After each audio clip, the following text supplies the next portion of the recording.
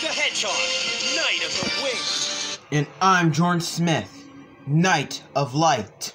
Let's settle, Let's settle this once and for all, King Arthur. It seems your impersonation of a knight has improved somewhat. I have you to thank for that.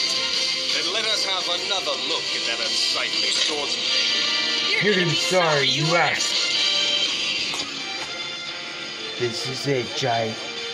Indeed. Give it everything you have. Only then will you prevail. Then bring Let's on, do this, King Sonic. Arthur. Come